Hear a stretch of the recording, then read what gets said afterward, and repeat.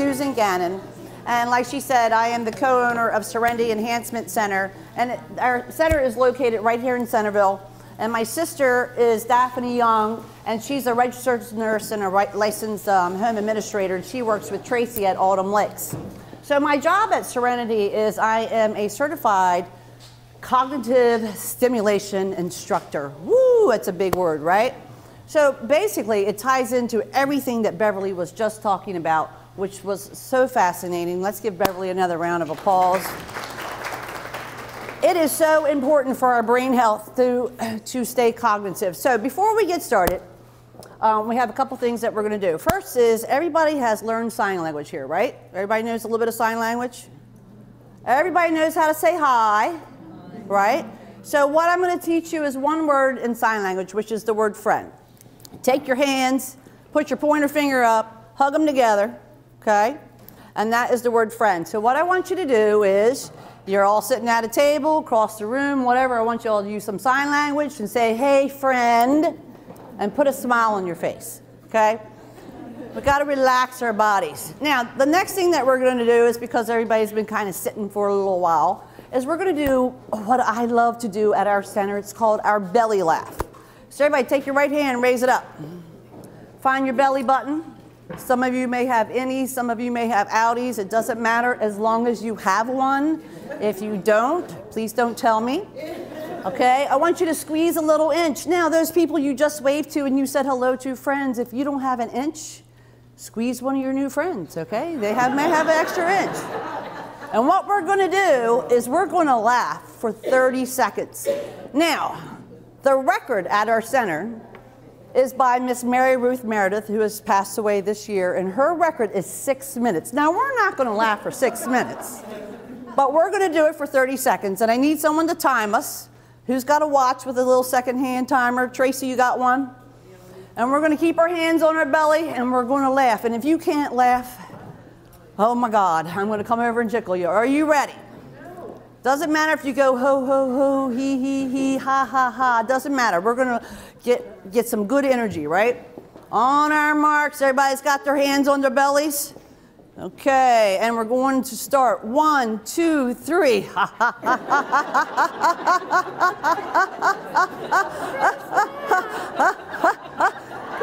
oh, ho, ho, ho, ho. Come on, Jane Anthony. Come on, I hear this table over here. Come on. Ha, ha, ha, ha, ha, ha. You were wonderful. Ha, ha, ha, ha, ha. Ho, ho, ho, ho, ho. Come on. Oh, I knew it. I knew. Oh, I knew it. I knew it. I got one over here too. I love her. I love her. I love her. I love her. Let me know when 30 seconds over. Woo! Woo! Woo! Woo! Come on, Michael. You're one of my good laughers. Come on. Come on.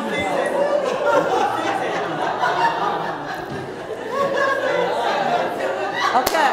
Come in. Three, two, one. Don't you feel better? Okay, now, Beverly covered so much stuff that I don't have to cover hardly any of that. So what we're going to just use is what she taught us today. So because we had lunch and you've been sitting all day long, she got you up and walking. But I need you to do a little exercise because we need to get energy because it's Friday. Who's excited about Friday, right? Oh wait, let's try that again. Who's excited about Friday? There we go. Wonderful. This is going right up my dress. Oh my God. Okay, I'm going to have to put this in my pocket a little differently. All right, if you'll just see my wire. and I'm being recorded while I say that. All right, so we're going to do what's called Qigong. I, I may be saying it wrong, um, and we'll get to that in a little bit, but it's a Chinese um, exercise that actually invigorates the body. So everybody needs to. It's okay. No, tuck- it's okay. Just tuck it in your pocket. Is it in this pocket? Oh, No, there, oh, there we go. Okay, I'm, pocket. I'm, whew. There you go. I'm sure I'm going to get drinks and dessert later from these two. Yeah. I'm gonna move this up so it's not where your hands are most of the time. Okay. Thank you. Wonderful. Thank you. Okay. So this is an exercise to kind of get you a little energy, right? Because you've been sitting for a little bit. But it is a chair exercise that you can do at home with your loved one. Because how many of you here are community uh, caregivers? Raise your hand if you're taking care of somebody. Okay. This is something you can do at home, okay? So everybody needs to push back from their chair. All right, is everybody, you have to give yourself some space. And the first thing we're gonna do is we're gonna rock, okay? So you're gonna go up on your toes and you're gonna kind of lean forward, kind of like when you're in a rocking chair, okay? So you go up on your toes and back. So you're just like rocking your body, just rocking your body. So up on your toes, on your heels. And we're just rocking our body, right? I'm just gonna do that for about 30 seconds.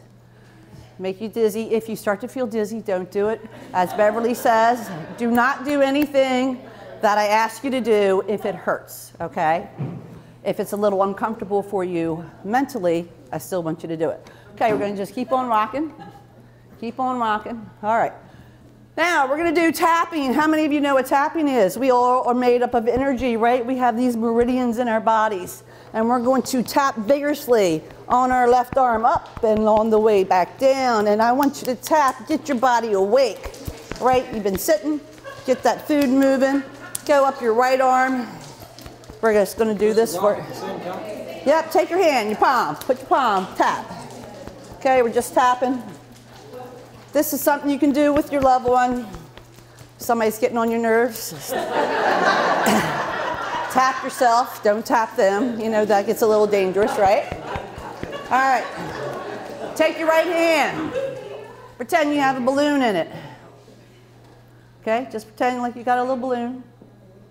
Right? You're just popping it up. All right. Do that for like 30 seconds. Somebody can count or not. Like me, I don't count. I just move to the left hand and I start going over here. Okay, we're tapping. Now this next one, I'm not sitting down. Okay, but I'll, I, and I have a dress on, so I might not show it to you. But you're going to take your right arm up and move your left leg up like you're marching. Okay? And then as this comes down, just relax. And I want you to do the opposite with the left hand and then breathe. And just do this a couple times. We're just stretching and getting our blood flowing. Okay? That's all we're doing. Okay? and I'm kind of shortening these. If you're at home, you can do them for a little bit longer. Okay? Take your hands, put them together. Take your palms, face them out like this. Okay? Everybody's got it? So what you're going to do is you're going to, this definitely, if it hurts to go too high, do not do it.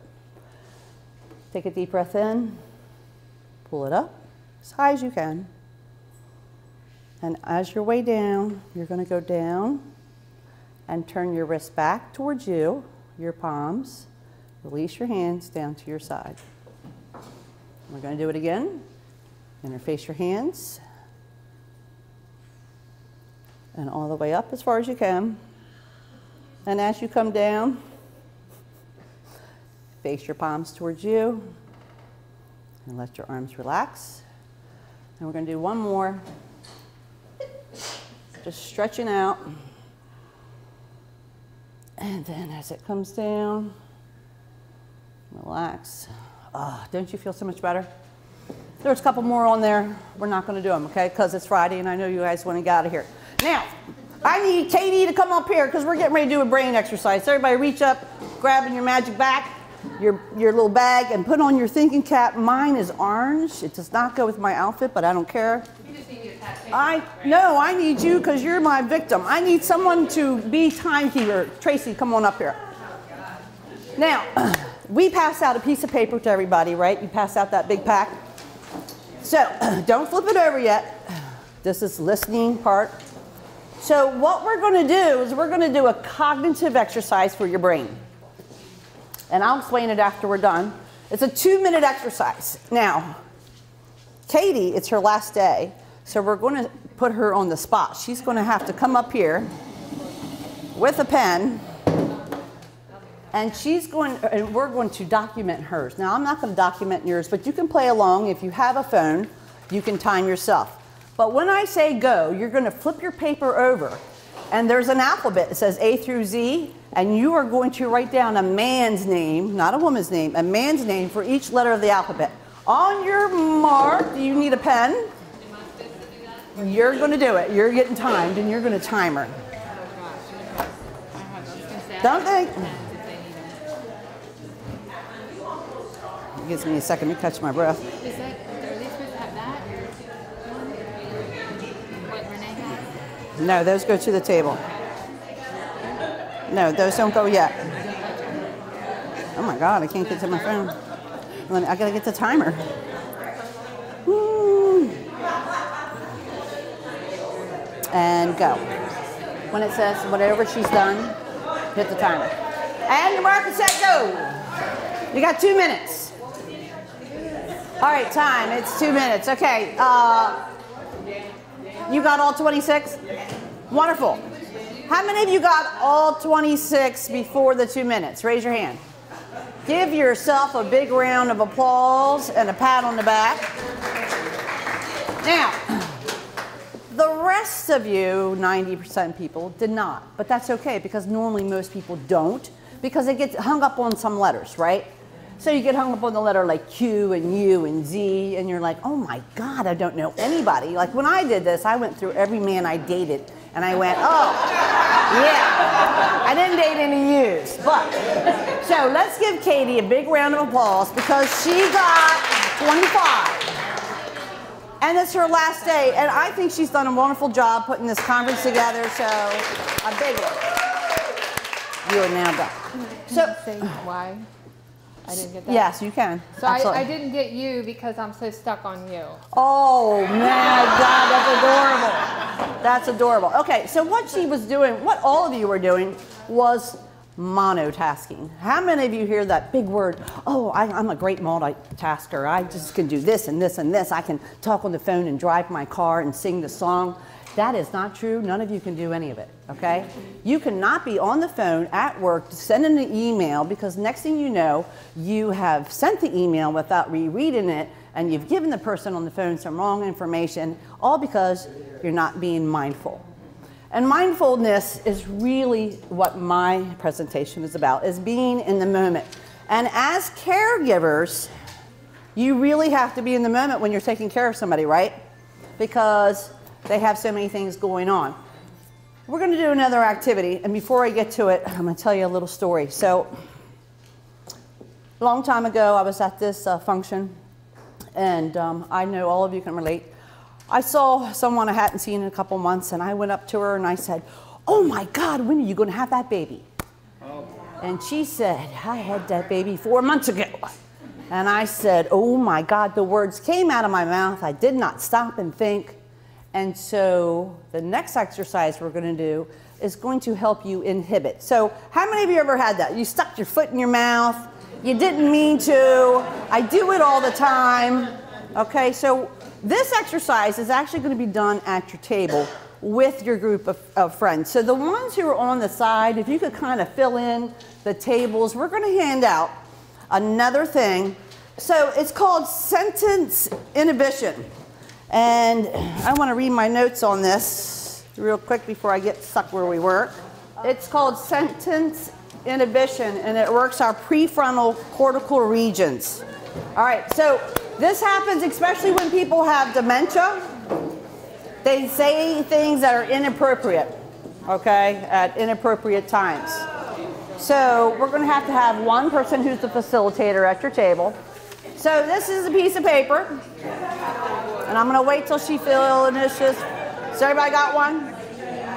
Do you ladies want to come join this table? Folks, sir? Oh, you're going to do one at your table. I only had 10. I only had 10. Does every table have one? I have yours. Okay, here's, here's an example. Okay?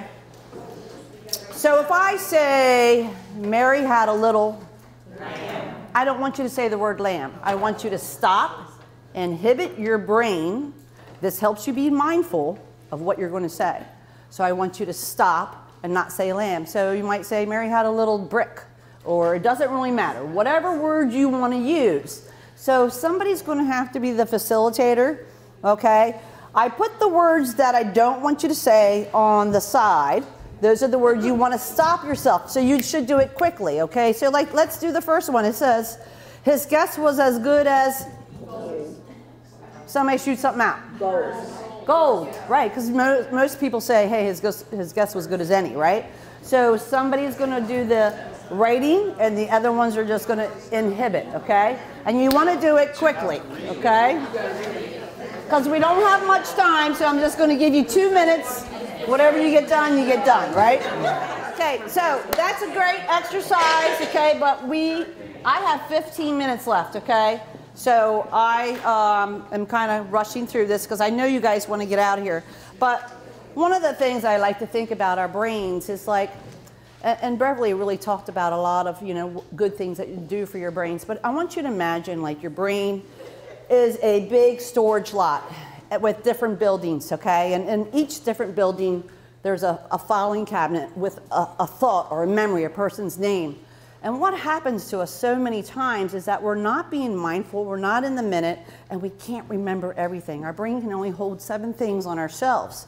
So let's say I walk into the store and I say, Oh my God, I just ran into somebody and I can't remember her name, and she's talking to me like she knows me. And I get home and I go, Oh my God, that was Helen. Helen, Helen, Helen, why couldn't I remember her name? And I call that like tip of the tongue, and Beverly talked about that earlier when we have something that's like right here, but we can't remember it. It's somewhere in that filing cabinet, maybe in my filing cabinet, it was in building U in filing cabinet, you know, 23 because I hadn't seen Helen.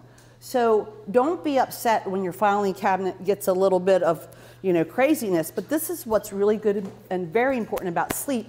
It helps your filing cabinets reorganize themselves at night. So that's why the sleep is really important. You got to get your filing done, right? So that's that part. Um, when we're doing the sentence inhibition, we're being mindful and we're stopping to take a moment. As caregivers and people who work with caregivers, we have to stop and stop judging. So on the top of that page, Michael, read the very first handout, which is mindfulness. Does anybody have that? Yep, right here. Can you read that out loud to everybody? Pay attention on purpose, in the present moment, without judgment. Okay, so how many of you practice mindfulness and kindness? We all try, right? We really do. And I believe that we can change the world by practicing more mindfulness. Because when you are mindful of what you put into your body, what you, you know, do over here, how you say it over here, you actually have less stress. And as you have less stress, you won't be more prone to diseases like cancer, dementia, that kind of thing. It helps with your aging. So, because we only have a couple minutes left, we're going to do four different techniques of mindfulness, okay? Which is staying present in the moment. How many of you today, I'll ask this question before we do it, um, when you were eating your lunch, actually tasted the strawberries and the blackberries? That's being in the moment. But so many times we're on this autopilot, and you know, we could be driving down the road and go, oh, did I just go through that red light? Was it a red light? I don't remember, right? Because we're so focused on something else. When you've been doing these activities today, you weren't stressed out. You weren't thinking about, oh my God, I got to get my Christmas shopping done. I've got to, what am I going to have for dinner? You were actually engaged at that moment. And that is what you need to do to be mindful. So we're going to do um, four different techniques. And I'm going to read these because, um, and I don't have glasses, but it's okay. We do these at our center. And we started doing these at our center about two months ago to help our participants who do have sometime some form of dementia. And what we have found is through the day, they actually can stay with us a little bit longer each time. So if, if you have someone at home um, who, it doesn't matter if they have dementia, maybe they're having a bad day, or maybe they're bedridden, or maybe they can't go out you have to be mindful, whatever their impairment is or whatever their condition is, and come at them at a place of love and kindness, okay? So, how do you do that? How do you stop getting so, oh my God, he's asked me three times for a cup of tea and I am in the middle of doing laundry and you just feel like frustrated. So, you have to stop, take a deep breath and breathe, right? So, I want everybody to close, well, actually, look around the room. Just take a quick look, okay? And we're going to start with the breathing thing. And we're just going to put our feet flat on the floor. And what you want to do with your palms is because you want to open up your energy, okay? And keep your palms faced up to the ceiling. I want you to take a deep breath and I want you to close your eyes, okay? No peeking. All right. You're going to begin by sitting very comfortably. And we've already looked around the room. And you're going to take a deep breath in. Take a deep breath in through your nose. Fill up your lungs, your ribs, and your stomach, and close your eyes. And let it out. And we're going to do three of these. And as you fill up your air, feel the air going in through your nose, down into your lungs and your ribs and your belly, and filling it up. And as you breathe out, feel it escape your lungs, your ribs. It's like a like a tide, like the ocean. It's like a wave. You breathe it in and you breathe it out. And you're just slowly relaxing. If your mind starts to wander, bring it back to your breathing. And just hold that thought of breathing. And we're just going to do this for 30 seconds. Breathe in and breathe out.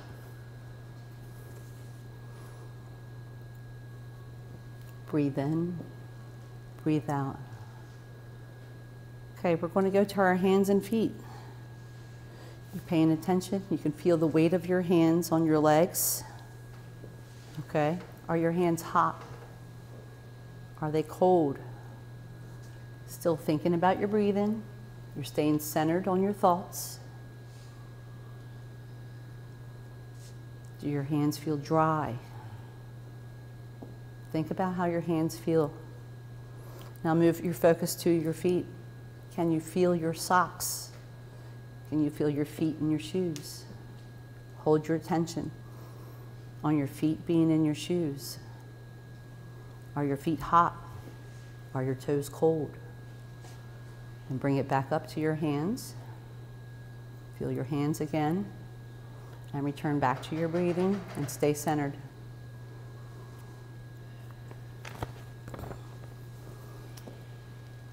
Your awareness of gravity. Feel your body in the chair, the heaviness of your body. Notice where the sensations of your weight in your body are. Notice where your body con contacts the chair. Is your chair warm? Can you feel the gravity pulling you down? If your mind wanders, come back to your thoughts of where your body is. Then I want you to visualize your center. You're going to feel your upper body. Can you feel your stomach and your chest? Can you feel your back, your shoulders, your neck? Notice the left side of your body, the right side of your body. Continue to breathe in and out, relaxing. You move your body slightly, can you feel your center line? Very gently and slightly rock forward and backward, side to side. Let your body settle back into its center. Slightly rotate your body left, then right, and just feeling the axis of your body, of your center. I want you to just find your center and breathe. Focus your attention on your center and then bring it up through the top of your head all the way back down to your chair and feel your whole upper body. Keep your attention there. Return back to your breathing. And when you're ready, you can open up your eyes.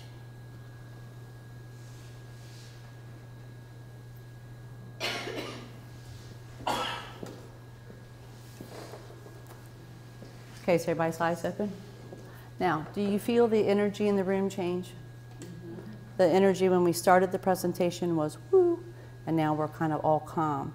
So when you're caring for your loved one, these are the people in your community. You have to reach out to your community. Do not try to be the Lone Star Ranger and say, hey, I can do it all by myself. Because, you know, my mother told me when I was pregnant, she said, it takes a village to raise a child, and I believe it takes a community to help with everyone in here. And so when you look around, these are your connections, and, and enjoy those connections and practice that kindness. One of the things I want to leave you with is, is something that has helped me remain mindful because I work at it every day. I have a word that I cannot say. Um, and I'm very mindful of it, so I'm going to think of it right now because it's really hard for me. So the word I have trouble saying is library. What I hear is library. Okay, so I, I've been saying it for 50 years and nobody told me. And I'm like, how come nobody told me I was saying that word wrong? I was like, oh Lord. And I have another word. I say the word almost. I say almost. And that's the way I hear it because nobody ever told me any different. It wasn't the teacher's fault in Queen Anne's County. I came here, I had a great education. But apparently, when I was in the library, I was saying I was in the library. So I wasn't really saying it right. So we all have those little things, right? But now I'm really mindful of it. And I tried to not say that word. I try to use the word media center or anything else I can say other than that word. So I've learned that about myself. And it takes me being mindful. I watched the show with um, a couple of Dr. Joe Dispenzas and things. And one of the things I have, and I do this at my center, is when I start to feel like I'm having maybe not enough patience, I take my right hand and I place it on my heart. So everybody, this is what I'm going to leave you with. Okay? And I want you to tap your heart. And I say, I have love and understanding. And that's what I want. The biggest thing I want you to be mindful of is to have love and understanding. So if you're having an argument with the person you're taking care of, or they've called you a hundred times, I want you to just think of me and I want you to tap and tap into your own love and say, I have love and understanding. And if it takes you 10 minutes to get that love and understanding, you just keep on tapping because it will happen. It doesn't matter if your best friend calls you and they're yelling at you because you didn't return their favorite shirt. I got love and understanding for Sally. Yep, I got love and understanding. You just tap, okay? You have to be mindful. And mindfulness starts with us. And we have to practice kindness to go out to the community and so this is a great chance to do it because it is Friday. So I challenge all of you to go out there and just really just love each other. And, you know, talk to these people. These are your community. This is who's going to help you. So if you have any questions, you know, see each of them.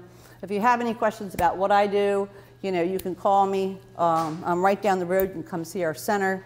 And if anybody has any questions, I'll answer them now. Otherwise, you can get out of here.